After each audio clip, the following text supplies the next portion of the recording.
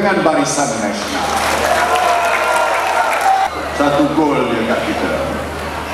Tiga gol pula sampai. Boleh 4-0? Hari ini saya nak sebut untuk projek perumahan Kedah 777 juta yang dah siap dalam pembinaan empat dalam perancangan termasuk projek ini suka menanti ini. 214 juta. 777 ah, sedap. Ini macam model kapal terbang. 777 triple seven. Inilah untuk Kedah ni.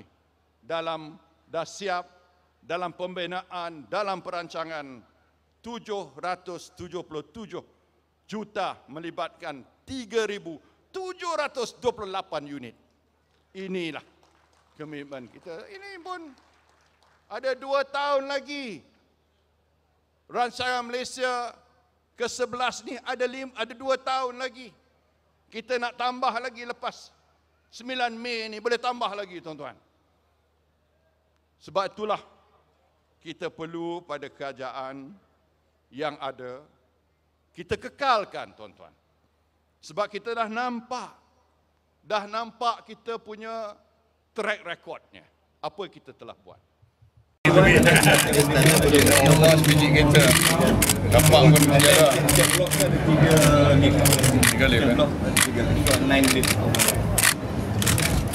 Okay Boleh Benar Nice design.